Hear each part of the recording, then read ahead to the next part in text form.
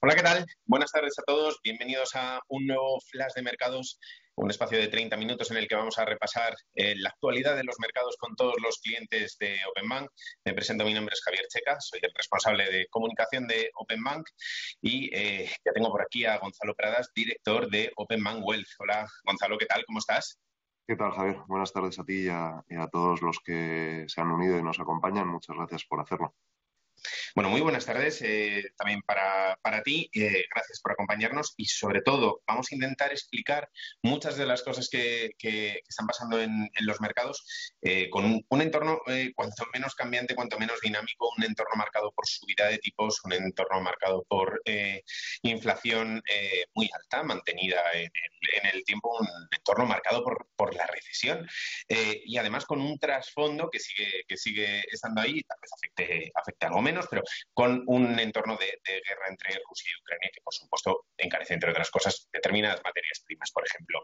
Eh, Gonzalo, me gustaría pedirte una opinión eh, para que me valores un poco el entorno en el que nos estamos moviendo antes de, dar paso a las preguntas, que invitamos, por cierto, también a, los, a todas las personas que nos ven a que manden preguntas y nos consulten todo lo que vean conveniente. Así que, Gonzalo, todo tuyo. Pues sí, perfecto, gracias Javier. Eh, y ese entorno, si te parece, lo voy a reducir al, más corto plazo, eh, porque es lo que, lo que creo que nos importa, eh, en particular a nuestros clientes, porque ha habido, ha habido caídas muy importantes en el mes de septiembre. El mes de septiembre es el segundo o tercer peor mes de los últimos cuatro años. Digo segundo o tercero, mm, dependiendo de si vemos perfiles más agresivos donde sería el tercero, o perfiles más defensivos, donde, donde sería el segundo. Es definitivamente, sin ninguna duda, el peor mes desde marzo de 2020, que recordaremos todos eh, que, fue, que fue el derivado de, de, los efectos de COVID-19 en, los mercados financieros. Y seguro que es eh, el más difícil eh, desde un punto de vista de gestión de, de, los que nos ha tocado gestionar desde que iniciamos el servicio de, inversión automatizada eh, en nuestro RoboAdvisor. Eh, para que nos hagamos una idea, una idea si quieres, eh, por dar números, en renta variable, si cogemos el S&P 500, índice archiconocido de, de renta variable estadounidense, ha caído en el mes de septiembre más de un 9%. un índice de, bonos globales, el Barclays Global Aggregate, ha caído más de un 5%. solo en el mes de septiembre. esto además, bueno, si le metemos en la coctelera lo que se ha incrementado la volatilidad en renta variable, más de un 20%, la, volatilidad en renta fija, eh, casi un 15%, pues te lleva, te lleva datos eh, desde inicio de año tremendamente complicados, eh, tremendamente difíciles de aceptar y también de, explicar. casi un 25% de caída desde inicio de año ese S&P 500 y, y, lo que es más preocupante, el índice de renta fija global tocando el menos 20% en el año. Es decir, porque, Porque Gonzalo, no, te, quería yo preguntar, eh, eh, hablamos de renta variable muchas veces, pero por ejemplo, en el caso de la renta fija, ¿en qué punto se, encuentra en este momento? Estamos hablando de que, es muy difícil encontrar una situación en la que las caídas se produzcan al mismo tiempo a, este nivel en, renta variable y renta fija. Eh, a mí me gustaría saber una cuestión que pregunta mucha gente, ¿hemos vivido algún momento que sea similar al que estamos viviendo ahora? Pues mira, eh, mandábamos un flash de mercados por email el, viernes donde incluíamos un gráfico que creo que, tenemos para, este live, eh, donde se ve claramente que, bueno, hemos cogido datos desde el año 1999. No ha habido ningún año eh, donde esta combinación es, perdona, es el, es el anterior, que además se ve muy fácil en forma de, de cruz y creemos que se explica de manera, de manera muy sencilla eh, como el 2022 está siendo un año especialmente dramático. Eh, como te decía, menos 25%, casi menos 25% de rentabilidad eh, year to date desde inicio de año en el S&P 500, también renta variable global, o sea que no, no, no nos importa el índice que cojamos casi, y un menos 20% en, en renta fija. Ves cómo está de a la izquierda y de abajo el punto, en 2008 eh, hay un punto de ese año que está más abajo porque renta variable fue fatídico, pero renta fija ganó dinero. Eh, solo 2018-2015, desde el año 99, ha perdido dinero las dos eh, grandes masas de activo, ¿no? pero no de la forma en la que ha hecho este año. Y luego una cosa también muy preocupante y que, y que por eso es un año especialmente complicado se mire como se mire, es que la volatilidad de la renta variable y la volatilidad de la renta fija se han incrementado en lo que llevamos de año más de un 80%. Eh, ¿Esto qué quiere decir? Y un poco volviendo a la pregunta que me hacías. Eh, eh, carteras diversificadas, bueno, perdón, carteras o inversiones monotemáticas, por decirlo de alguna forma, en una clase de activo, no ha habido sitio donde refugiarse desde inicio de año. Pero si además las dos grandes masas de activo, bonos y acciones, han funcionado tan mal y han funcionado mal a la vez, quiere decir que es que han tenido correlaciones positivas. Y esto, la realidad es que no se ha dado muchas veces en mercado y de haberse dado han sido en espacios de tiempo bastante reducidos o acotados, no tan prolongados como, como este año. Eso es, eso es lo principal de este año y que además, si tuviéramos que explicar este año, con coger septiembre, eh, lo explicábamos. Todas las clases de activo en negativo y además con, con correlaciones eh, positivas. Eh, este mes de septiembre también es muy parecido al mes de junio. Luego vivimos una irrealidad y, los clientes que, nos siguieron también con, los emails que mandábamos y, live antes de verano, lo decíamos. Este, este, esta rentabilidad, esta, esta bonanza de repente en julio y en agosto, para nosotros es una irrealidad, una ensoñación. De hecho, redujimos riesgo justo antes y la caída ha sido igual de fuerte que en junio en renta variable, pero lo peor es que en renta fija ha sido aún peor, con más violencia, eh, y eso es lo que, lo que nos hace eh, estar en un posicionamiento tremendamente cauto. Creo que en este formato, en, este, en estos live, he dicho ya este año eh, hasta tres veces que estamos en mínimos de riesgo, no, nunca hemos consumido menos riesgo. Bueno, pues hoy hemos vuelto a romper un mínimo y hoy estamos por debajo, todavía más cautos, todavía más prudentes en el posicionamiento. Y no descarto que con toda la volatilidad y nerviosismo, porque hablamos de volatilidad y parece que estamos utilizando un eufemismo, ya no es solo volatilidad, también es nerviosismo de los agentes del mercado. Creemos que los próximos 30, 60 días, eh, tenemos que estar muy refugiados para que no eh, nos, afecte de una manera muy importante eh, ese nerviosismo, esta, este, decisiones aceleradas y, en el, y en el día de muchos actores del mercado, para que cuando se serene y empecemos a ver notas positivas, que entiendo que habrá preguntas y si no las cuento después, empezar a, volver a recomponer posiciones y a recomponer las carteras y a elevar el riesgo. Sí, porque una de las preguntas que, yo creo que todo el mundo se hace, y de hecho por lo que voy viendo un poco que, van, que van entrando preguntas, eh, ¿cuándo se puede, no, se puede recuperar la rentabilidad eh, perdida eh, a lo largo de, este año? antes del 31 de diciembre no. si queremos, si decimos recuperar, llegar hasta el punto máximo que, que perdimos a principios de año, antes del 31 de diciembre? Seguro que no. La, pregunta debería ser, eh, bueno, sí, eh, ¿dónde estamos eh, en esa potencial recuperación o en esa evolución hacia, hacia volver a la rentabilidad?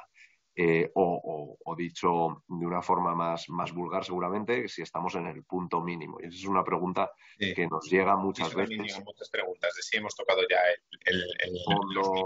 Bueno, nos, llega habitualmente a través de nuestro eh, centro telefónico, también emails. Eh, la realidad es que la realidad es que no lo sabemos. No sabemos si va a ser mañana, si va a ser dentro de una semana, dentro de un mes. Lo que tenemos claro, viendo el mercado, es que no debería ser más allá de, dos, tres meses, porque ya estamos viendo señales que nos indican eh, que las claves que estamos esperando para que, para que empiecen a recuperar los mercados financieros se pueden dar. Por ejemplo, ya estamos viendo eh, bajadas de precios importantes eh, en lo que viene siendo la primera línea tanto de industria como de transporte de, de mercancías, que al principio de esta crisis era de lo que más nos preocupaba. Ahora bien, eh, la pregunta que nos hacemos en el comité de inversiones y nos estamos haciendo todos los días es, ¿tomamos ya posiciones en vista de que creemos que se están dando noticias positivas, datos positivos adelantados, ¿no? Eh, nos hemos hecho todos expertos en IPC, eh, IPC español, IPC europeo, IPC americano, el índice de precios aquí, el índice de precios allá, pero no deja de ser un indicador pasado. Hay indicadores adelantados en los que nos basamos para, pensar que está mejorando la situación que permita que los bancos centrales dejen de subir tipos de la forma tan acelerada que lo están haciendo. Ahora bien, viendo eso, la pregunta es, ¿tomamos posición ya o no?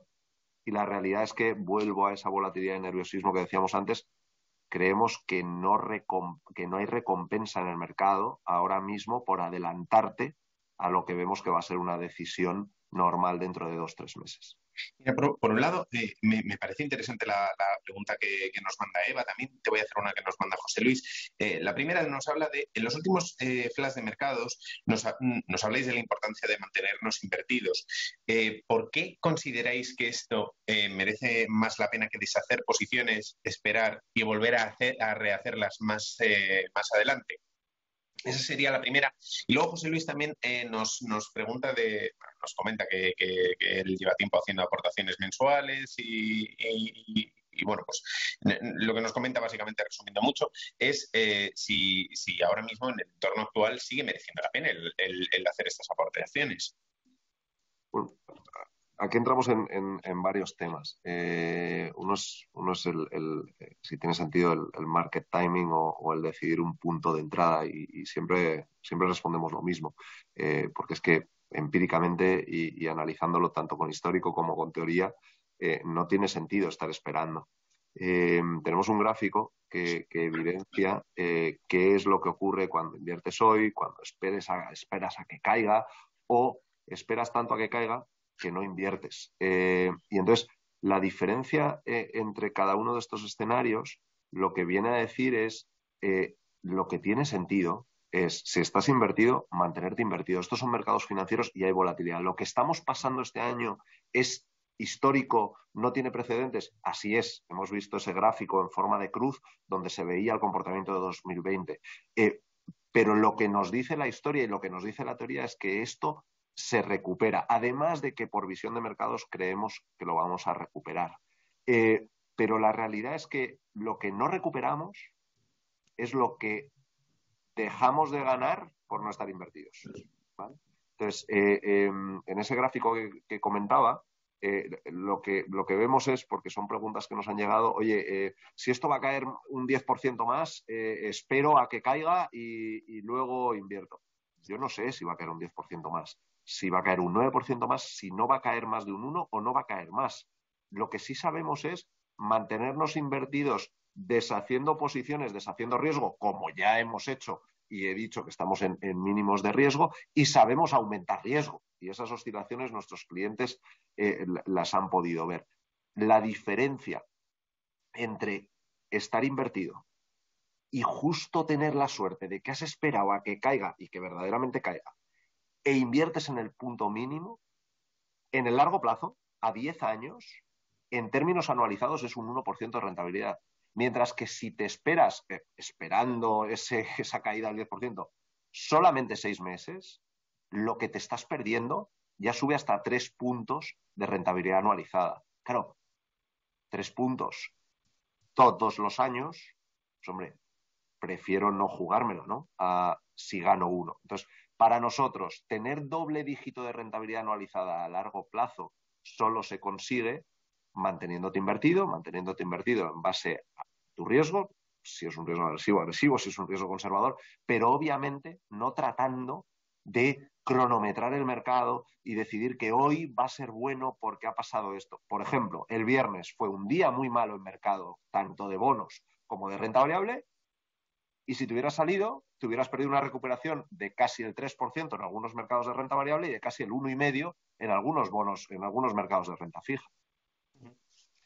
Eh, Juan Carlos eh, nos pregunta, vale, sí, eh, pero a la vista de las caídas que, hemos ido acumulando este año, ¿tú crees que hoy se podría afirmar, y con vista al futuro, que la renta fija puede ser un activo seguro?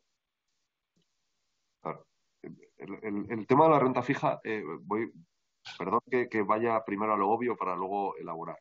Eh, la renta fija, salvo en el caso de quiebra por parte del emisor, a una fecha cierta te van a dar un capital cierto con unos intereses. ¿Cuál es, sobre la base de eso y tratando de ir a emisores que no quiebren, etcétera. Eh, ¿Cuál es el problema mientras mantengo el bono? Que el bono tiene un precio de mercado. Y entonces, un año como este, que es brutal, pero ha habido otros más normales, claro que tiene oscilaciones, a la baja y al alza.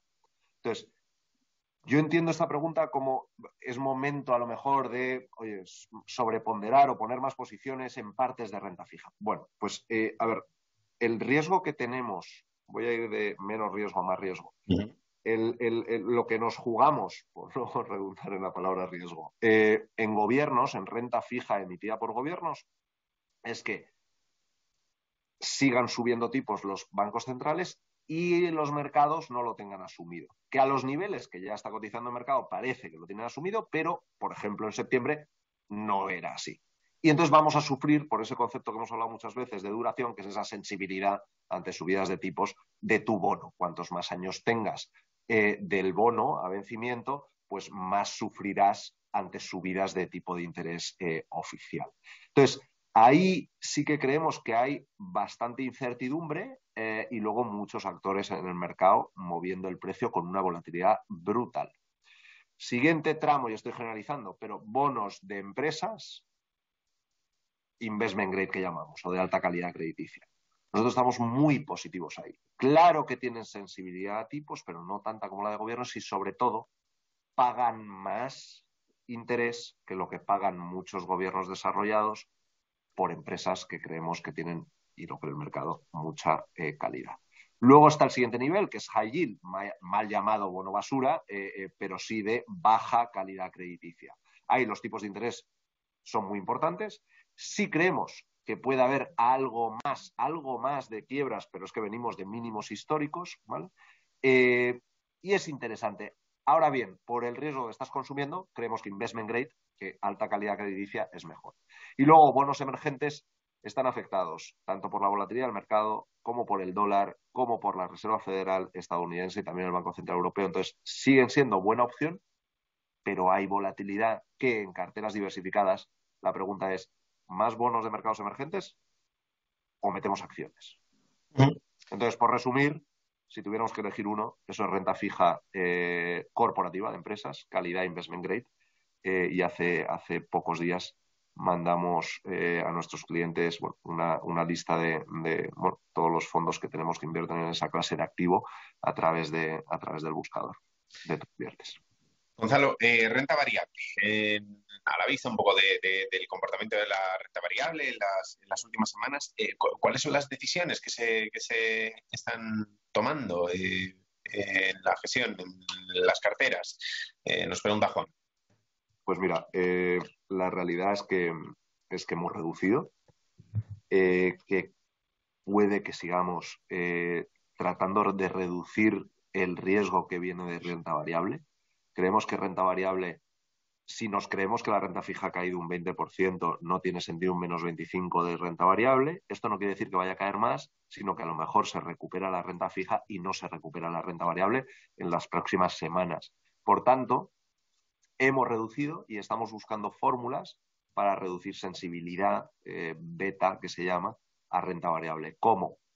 la obvia es directa y a reducir y ya está, pero eh, algunas que estamos buscando pasan por estrategias de eh, mínima varianza, eh, lo que se llama smart beta eh, o volatilidad baja dentro de renta variable. Es decir, conseguir un ratio de ganancias-pérdidas óptimo.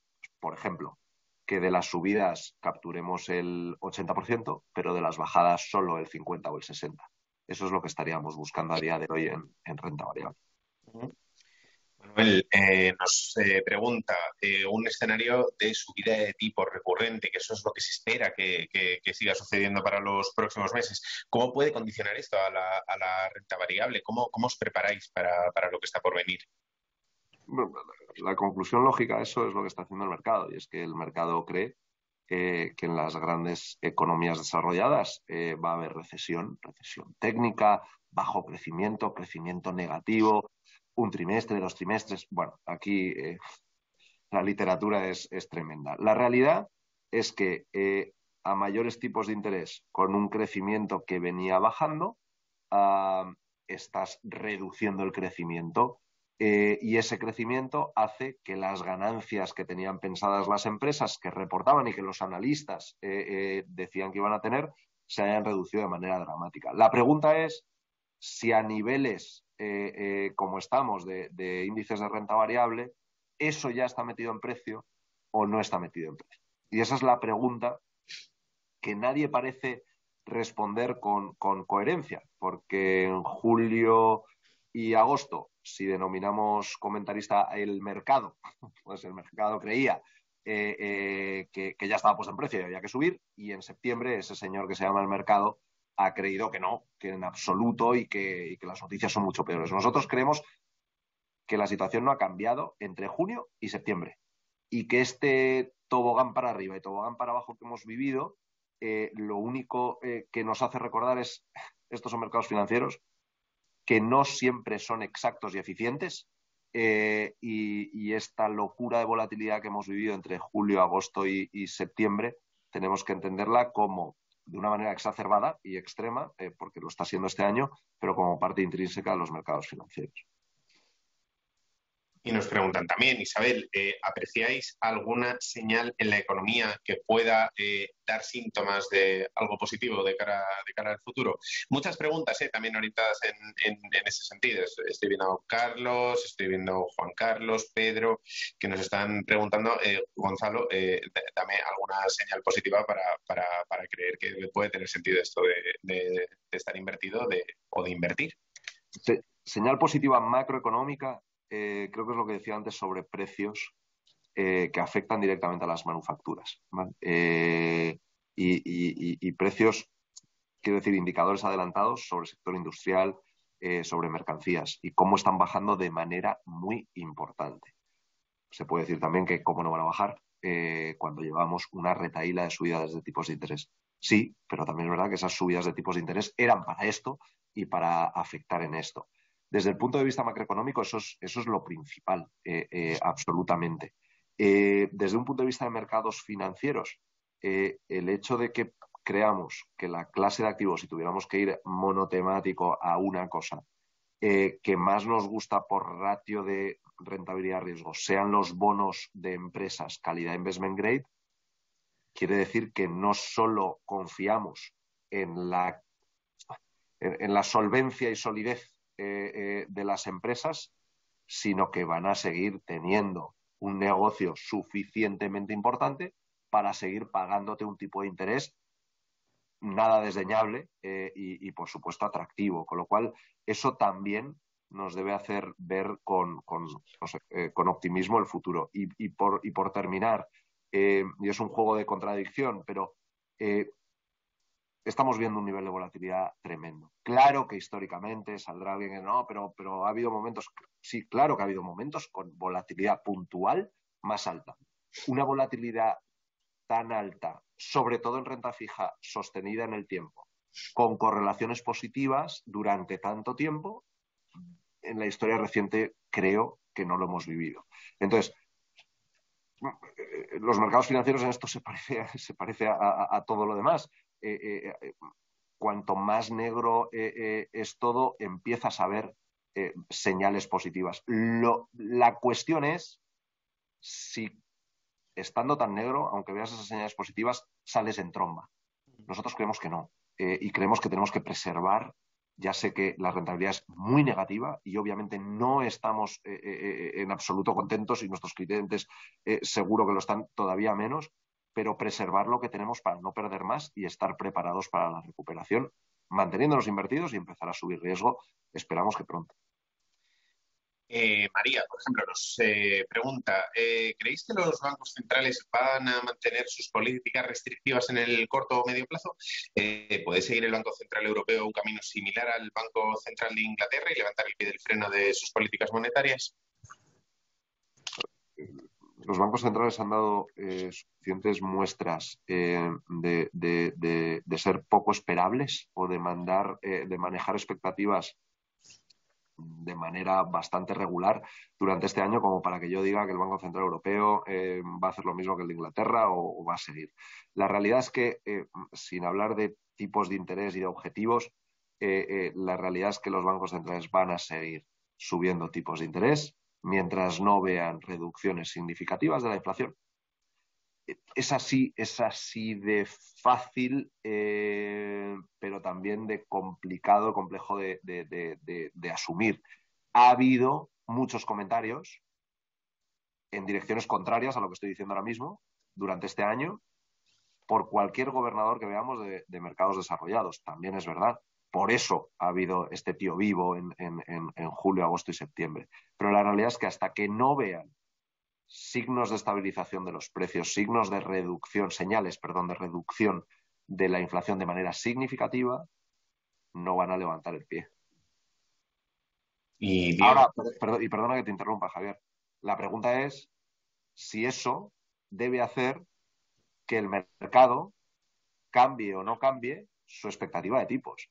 Porque mm. es que del viernes a ayer lunes, el tipo del el bono a 10 años americano pasó del 3,83 al 3,64. 19 puntos básicos en un día, que es una burrada. Entonces, más que qué van a hacer los bancos centrales es, no han dejado suficientemente claro los bancos centrales lo que van a hacer y hasta cuándo.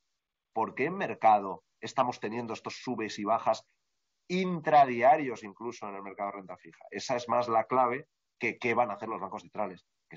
Que, por mucho que luego digan cosas eh, incorrectas, eh, perdón, contrarias a lo que después hacen, parece bastante telegrafiado. Eh, mira, una pregunta que nos hacía llegar Diego. He visto que acabáis de lanzar listas de fondos con distintas temáticas. En un entorno tan complejo como, el que hay hoy, eh, ¿merece la pena invertir con estos criterios, con temáticas concretas y puntuales? Bueno, a ver, las listas que, tenemos en, nuestra web, en nuestra app y que mandamos también por, email y, recogemos en el blog, es simplemente como como ideas eh, nada más eh, y para que los clientes sepan que, hay atajos eh, al, buscador o, cómo reducir por temáticas y qué temáticas hay, pero no pasan de eso. Si lo llevamos a nuestra gestión discrecional de carteras, hemos metido temáticas y esto era algo que el año pasado y hasta el año pasado no, pensábamos hacer. Hemos metido energía y ha sido de lo poco que nos ha dado rentabilidad positiva durante este año. Eh, eh, la línea que tenemos en Reino Unido se puede ver más como una temática que como una geografía, porque la realidad es que es una bolsa, eh, un, mercado muy, muy, muy heterogéneo, pero que se enfoca en tres sectores en, en particular. he hablado de investment grade en, en este live, he hablado en varios lives de bonos ligados a la inflación es una clase activo, pero si lo queremos, eh, podemos llamarlo temática también. Con lo cual, para nosotros no deja de ser activo sobre lo que, lo que construir carteras eficientes, siempre desde un punto de vista de riesgo y más aún en, días como estos, en contextos como el que nos ocupa, eh, de tantísima, tantísima volatilidad. Sí.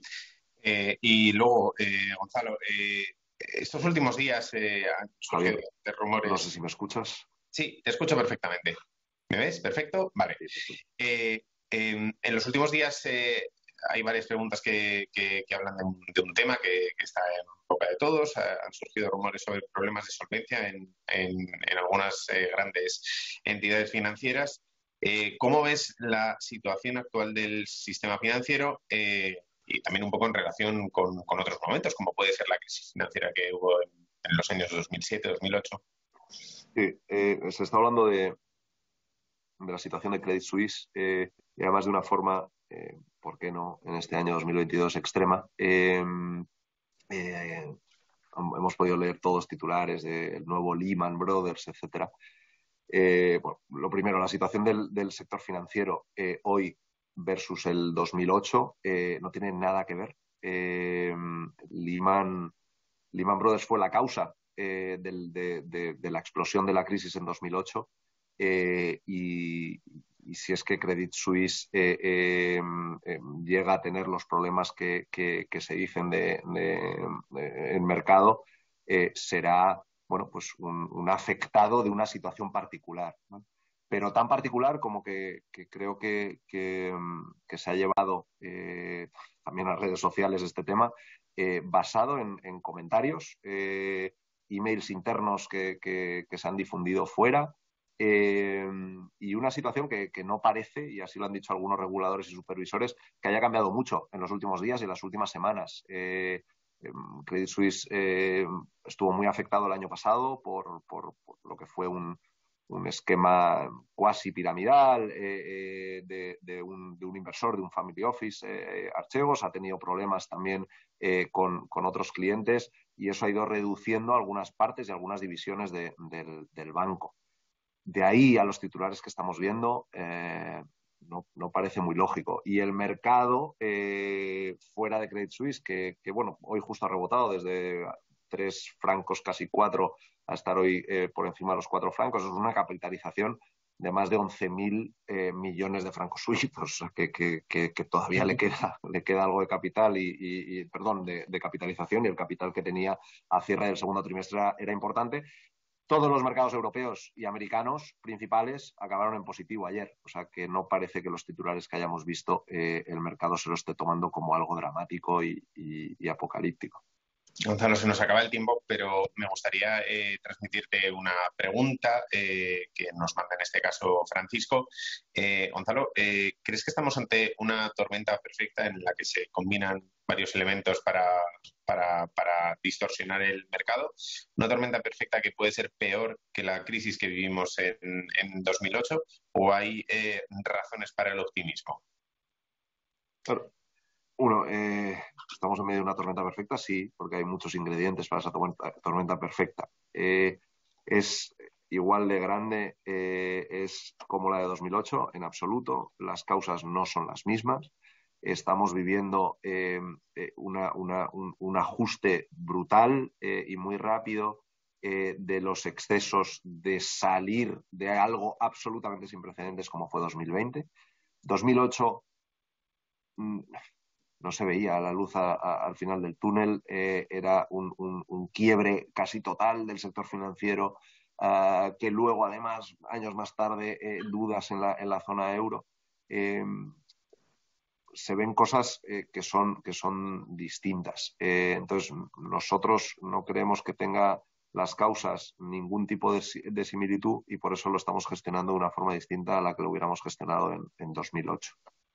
Gonzalo, te agradezco que hayas estado con nosotros esta tarde. Eh, Gonzalo Pradas, director de, Openman Wealth, eh, muchísimas gracias por, acompañarnos y por responder todas las preguntas que nos van mandando nuestros, nuestros clientes. Gracias a ti, Javier, y a todos los que nos han acompañado por, hilar con la última pregunta de la tormenta perfecta. Lo importante es en qué momento de la tormenta estamos. Eh, y, nosotros, por lo que estamos viendo, creemos que, que ha pasado lo peor, eh, que las olas de 12, 15 metros han pasado, que sigue habiendo mar de fondo, por supuesto, y, volatilidad, pero que creemos que estamos más cerca de volver a tomar riesgo y, de, ir recuperando y construyendo esa rentabilidad que hemos perdido. Muchas gracias, Gonzalo. Muchas gracias a todos los clientes. Nos vemos en el próximo Flash de Mercados. Eh, sigan conectados. Nos vemos pronto. Un saludo. Cuídense.